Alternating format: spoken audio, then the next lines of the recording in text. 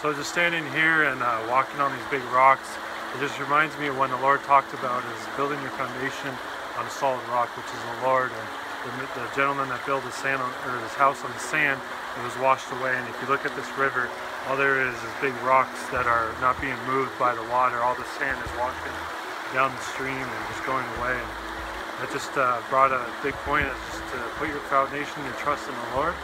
He will just keep you solid and on that steady path. And Amen.